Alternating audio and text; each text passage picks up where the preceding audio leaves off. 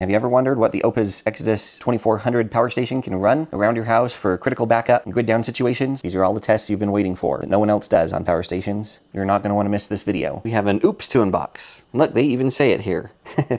I think the official brand name is OUPES or something like that, but uh, Oops is a lot more fun to say. Got a little bag of uh, documentation here. We've got uh, this adapter cable right here, MC4 ends on one side, and then Anderson power pole on the other. I am not sure what gauge wire they're using on these, but this is very, very thin gauge wire going to those MC4 connectors. Got another Anderson adapter to 12 volt uh, cigarette style plug. And I've got the AC charging cord, no power brick. Let's take a closer look at this quick. Nice big screen, it shipped at 66%. We've got two 140 watt power delivery ports, and then four quick charge type A ports. It's a very nice selection of USB ports. They've got a little uh, on-off uh, toggle switch down here. Got two barrel type 12 volt sockets, as well as one of your standard car style outlets. We've got four 20 amp, 120 volt outlets. The inverter is rated up to 2400 watts. There's the IoT button. On the side, we have nothing but ventilation. On the back here, we've got a circuit breaker. We have our solar DC input. It's rated from 12 to 78 volts. We'll have to see how many amps that accepts. So yeah, the PV input is rated up to 13 amps, 800 watts max. It's not terrible for a power station this size.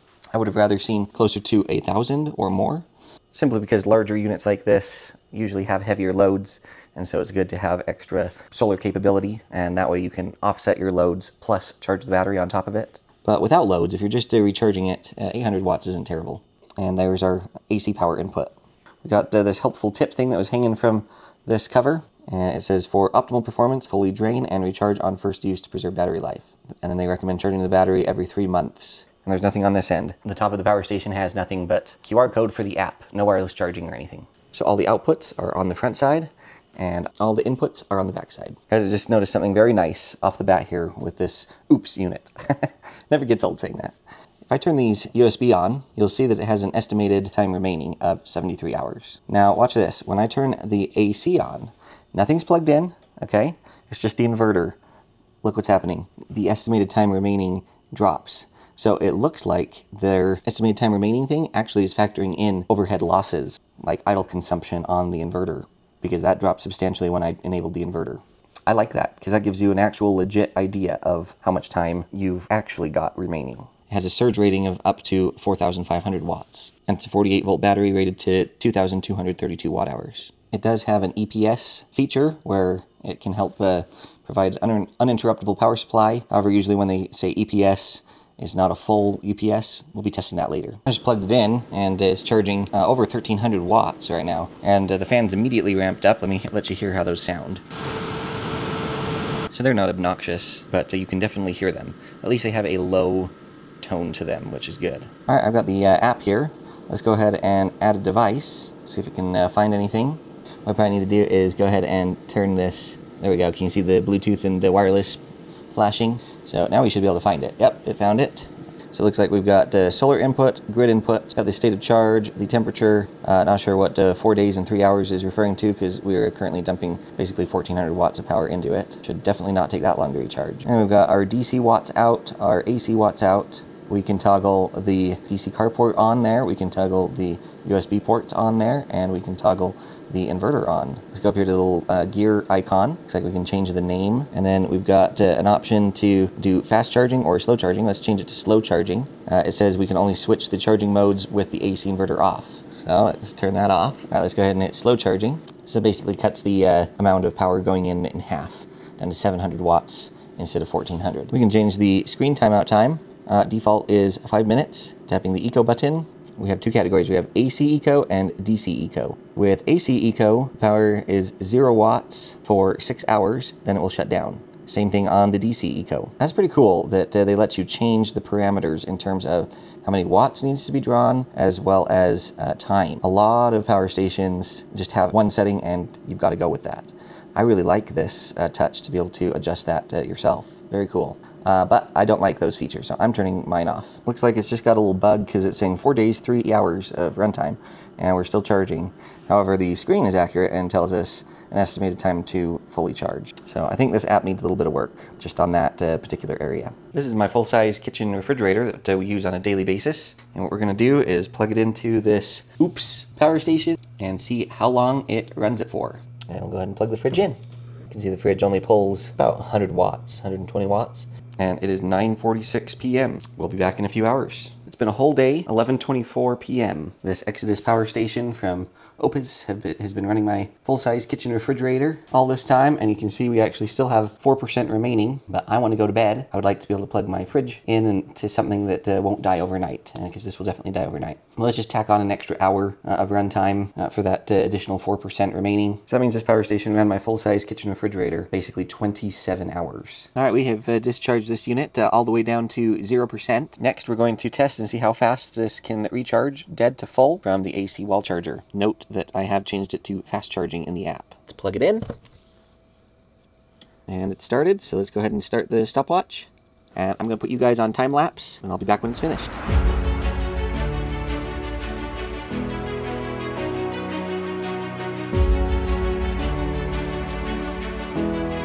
I wasn't right here when it finished, but based on the time lapse, it took 1 hour and 36 minutes to go from 0 to 100% state of charge. This is a high-end desktop gaming PC workstation. Got one, two, three 4K monitors. We're running a 4K gaming benchmark on that one right now. If we come down here, we can see that the computer is pushing 600 watts uh, consumption. Notice that nothing is plugged in but uh, this white cord, which is coming over here and is connected to this power strip right here. Plugged into that is the charging cable that uh, is plugged into this Exodus power station. And then this cord right here goes back into that uh, mess of cords back there and powers the computer. Let me just show you here that uh, it's going to the plug strip that's right there. I do have a different UPS that that plug strip is normally plugged into, but we're going to test the UPS capability of this OUPES power station. Uh, I'm going to flip this switch in three, two, one. So you can see the power has been killed, but uh, the computer is still on, working just fine, and the power station took over running the computer. All right, let's apply power back on now and see if it uh, switches successfully. Three, two, one.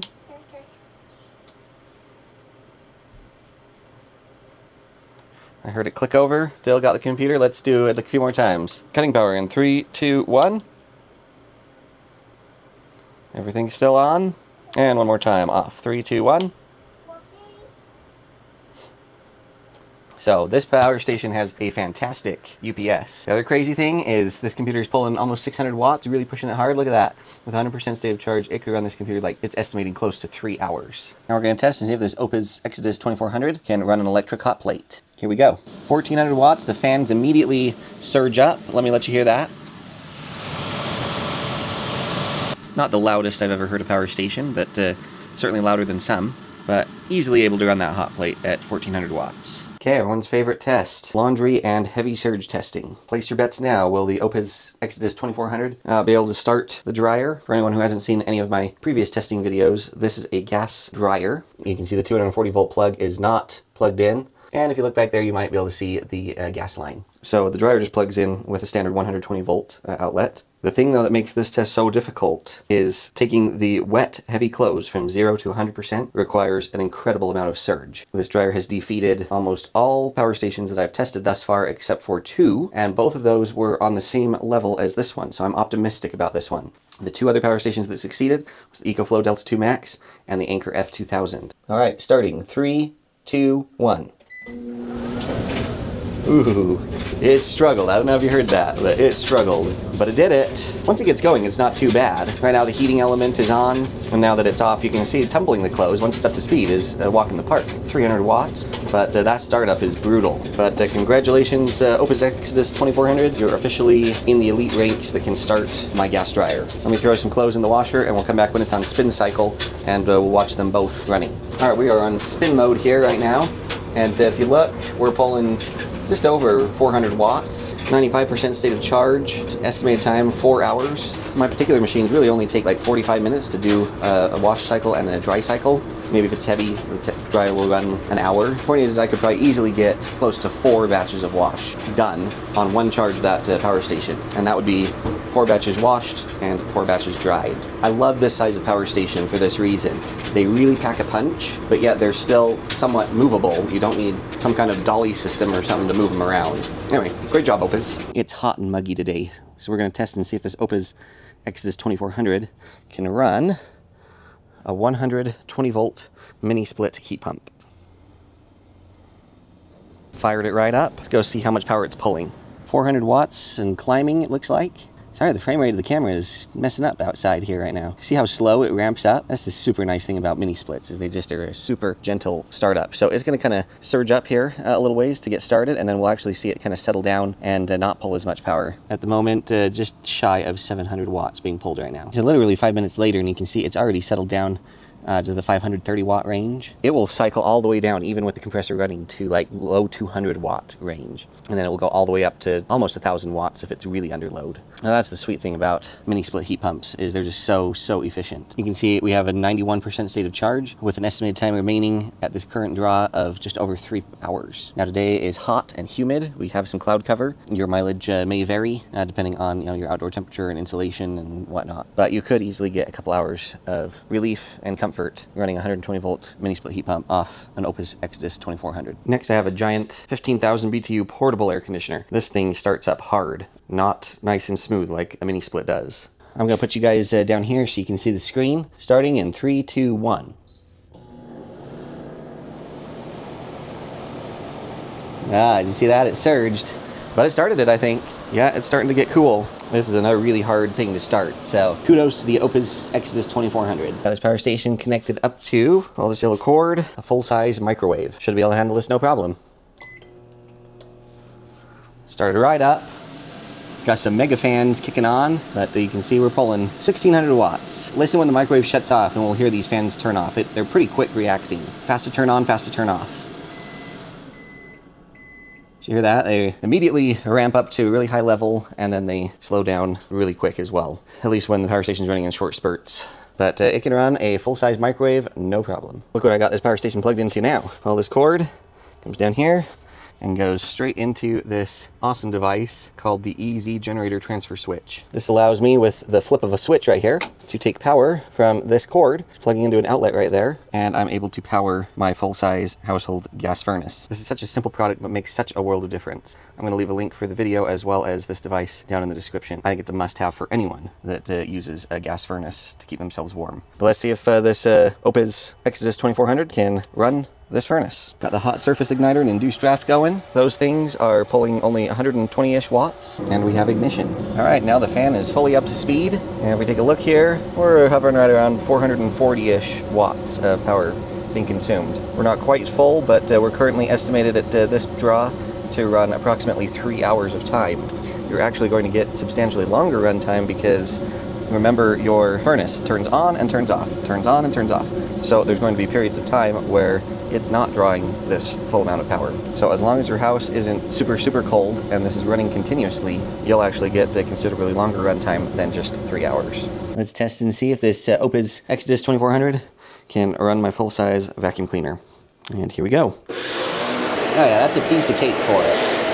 1300 watts. New test due to popular request. We're going to turn the AC inverter on and we are going to let that sit for 24 hours and we'll see how much battery it consumes just sitting idle. I have all the timeouts and everything canceled, so it should just sit there and stay on the whole time. It's 12.57, August 15th. Okay guys, 24 hours later, 12.58. You can see that uh, we were down to 58%, down from 90. So that means this uh, power station just sitting idle for 24 hours consumes 32% of the battery. Okay guys, sound off in the comments on what you think of this uh, power station.